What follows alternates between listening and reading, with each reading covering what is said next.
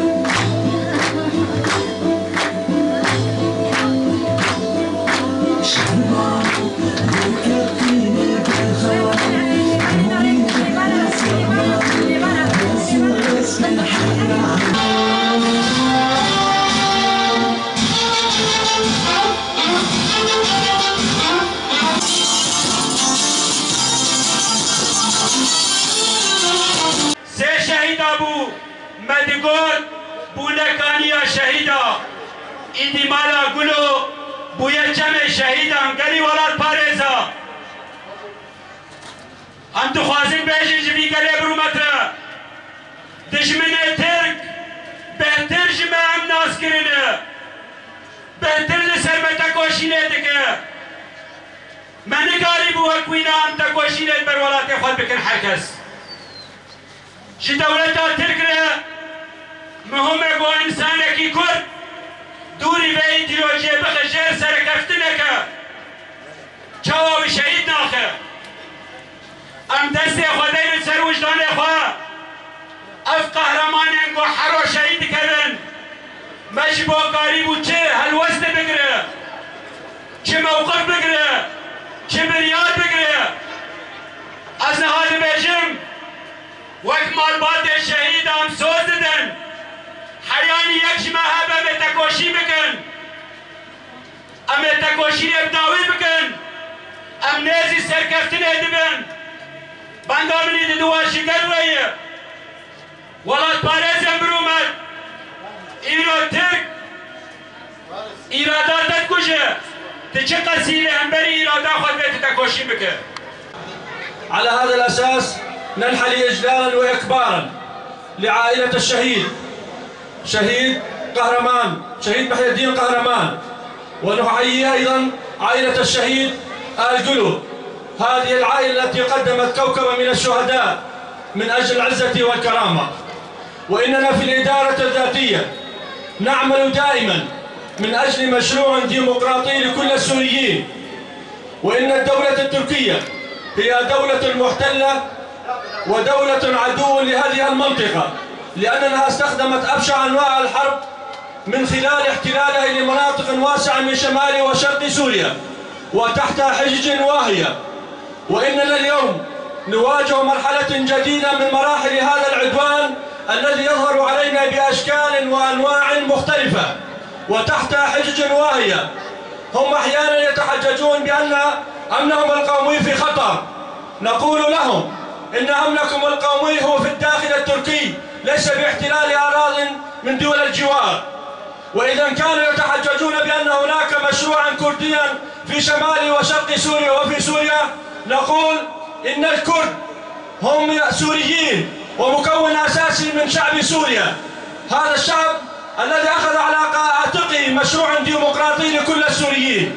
فلنا نقف في شمال وشرق سوريا إنما نعمل لأجل سوريا.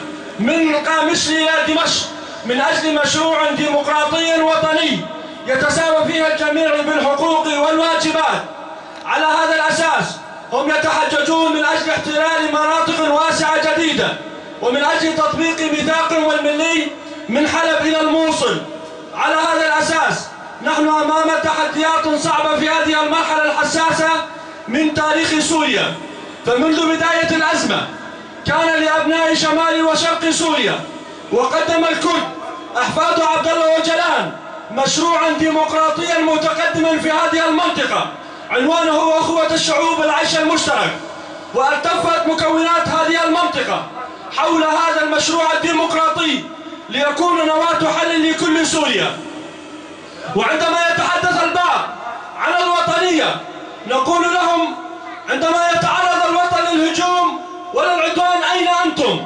وعندما تنظرون علينا بأن هناك مشروع تقسيمي وأن هناك انفصاليين نقول لهم نحن على أرض سوريا ومن القامشلي ومن داريك إلى الرقة إلى دير الزور نحمل مشروعا ديمقراطي. وإن الوطنية ليست حكم على أحد هي ليست حكم على دمشق ونكررها دائما ونقول.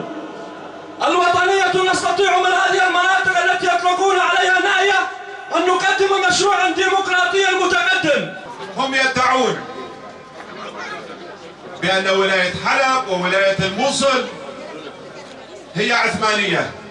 خسئوا نسوا بأن جبال طوروس هي الحد الفاصل. لكن احتلوا مساحات كبيرة من بلدنا الحبيب عفرين وتعرفون ماذا عملوا في عفرين.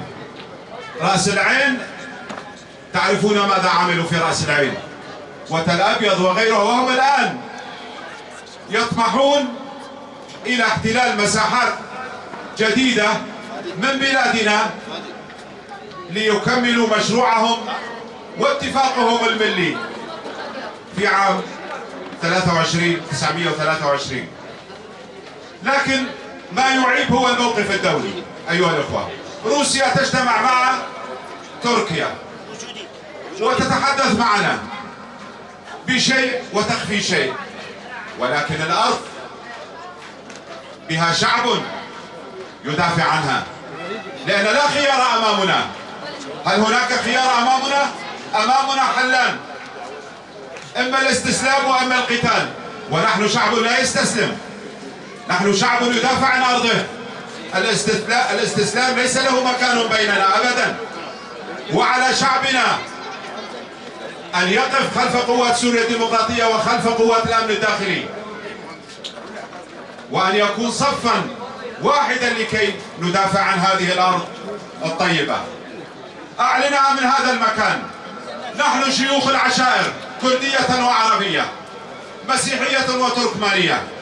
نحن منذ الآن عسكريون وسنطالب قيادتنا بتوزيع اللباس العسكري علينا.